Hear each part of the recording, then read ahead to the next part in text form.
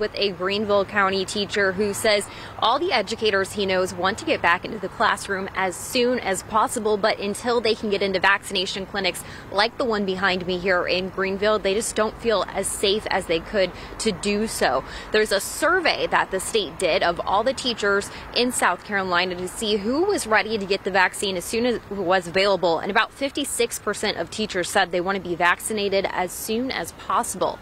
Governor Henry McMaster says, though, now now is not the time, but he wants districts to go ahead and develop distribution plans. McMaster says it's more important to get students back to full time in person learning. He says younger students are falling behind in core subjects like math and reading, but we spoke with a teacher who says vaccinating educators goes hand in hand with improving grades. So many teachers have had to miss time in the classroom because of isolating or quarantining that some schools have had to go virtual. Teacher Dr. Clifford Lee says vaccines will help keep classrooms staffed and lesson plans on track. One of the things we can do to improve our students' outcomes is to ensure that students have continuity in their experiences. And one of the ways that we can ensure they have continuity is by giving these teachers vaccinations as soon as we possibly can.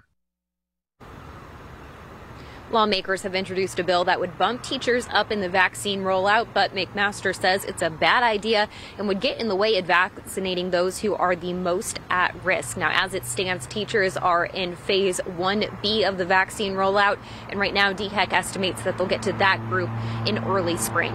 Nicole?